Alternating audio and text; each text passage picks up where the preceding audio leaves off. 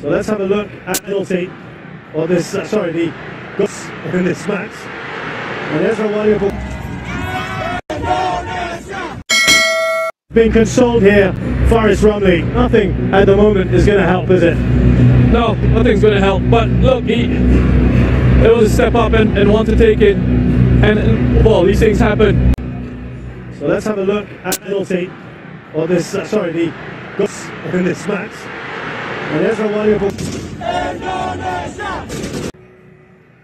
The woman to this match, Safuwan, getting second yellow for I, I, for what I don't know. The referee turned around one, perhaps swinging arm out there. That's the official reason we. Were. But then immediately from that, goes on to score the equalizer. Complaints about this. Irfan Jaya was in behind, central closer to goal. Would have been one on one with Huck, and there was an arm from Irfan out there. So ultimately this magic.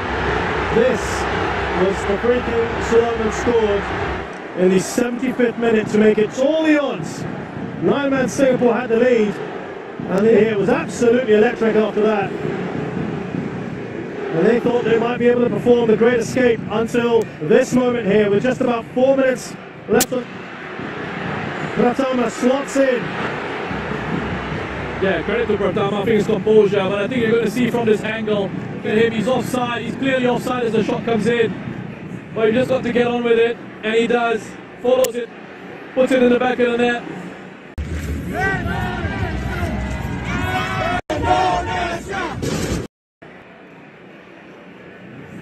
And uh, Tunisia back in it. Two all then, we thought we'd probably be able to go to and look at this Singapore given a big hit, a penalty decision.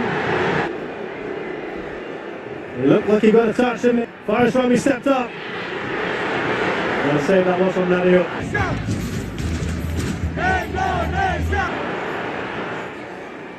That's saying thank you to Faris. Great save by Nadeo. And then Leon here. What an is from Zulkarnain. That's a touch from Zulkarnain. Delete. So great defending first. Strong arms from Hassan Sunny and Shawal in a great position. Well offensive header. Get it away from danger.